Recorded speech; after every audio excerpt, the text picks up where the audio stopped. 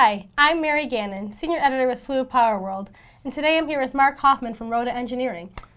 Hi, I'm Mark Hoffman with Rota Engineering. I'm the Vice President of Sales and Marketing for the Mobile and Industrial Group. And we're going to talk a little bit about Rota's uh, technology. We've got a couple different products here, so we're going to delve into a little bit about the company and uh, Hall effect technology. So, what do we want to talk about first, Mark? Great. Well, what I wanted to just kind of start with is uh, Rota Engineering has been manufacturing position sensors since the early 90s. We actually started in the subsea, the uh, oil and gas market, where we are still a predominant player today. But my focus is more on the mobile market, where we might see applications in military, agriculture, construction, mining, just to name a few. And what we focus on is the Hall effect technology. So what we have here is a PC board with Hall effect chips on it, and that goes inside of a mechanical package.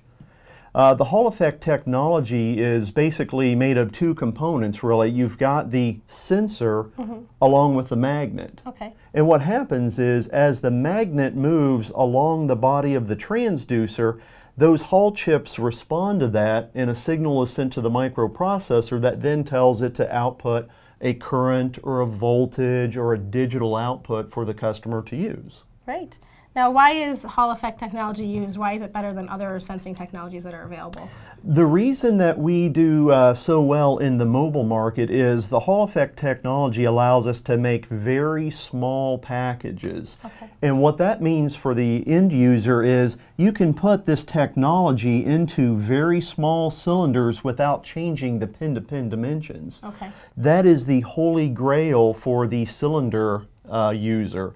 They want to have the same turning capability, the okay. same lifting capability. As soon as you add length to the cylinder, you start to lose some of that competitiveness. Okay, great. And one of the other great points with this technology is that it just has very high vibration capability. So it's really well suited for the mobile market. Right, it's not sensitive to all that activity that's happening. Exactly, exactly. And another one of the nice things is the technology has a 60 year MTBF.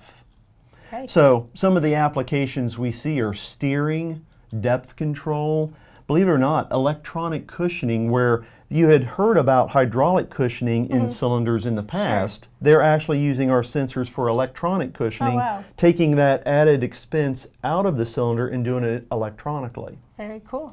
And there are even some people that are starting to do electronic rephasing. So instead of rephasing in the cylinder, again, take that out, do it electronically.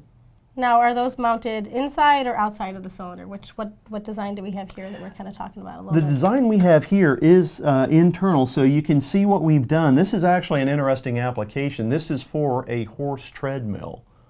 Oh, wow. Just to give you an idea that these are used in all sorts of areas. That's pretty cool. Why it, would they use a horse treadmill? Is that to like practice for?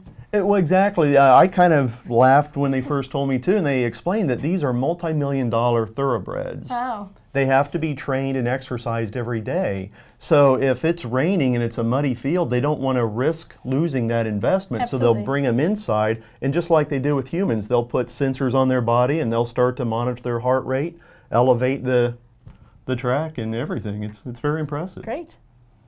But as you can see here, we actually have the sensor embedded inside the cylinder, so the rod has been gun drilled. Now in this model, obviously, it's been cut away so that we can actually sure. see the gun drilling mm-hmm. hole mm -hmm. with the sensor inside and then the electrical connector so that all you do is apply power and you get a proportional electrical signal out based on position. So this sounds like a very custom application, Mark. Can you tell us a little bit about that? Uh, it is a custom application, but we are striving to have more standardized products. But as always, we're an engineering company, so please, you know, we'd ask you to visit us at rota-eng.com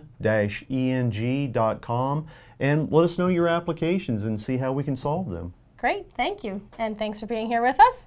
And as always, visit www.fluidpowerworld.com for more videos. Thanks for watching.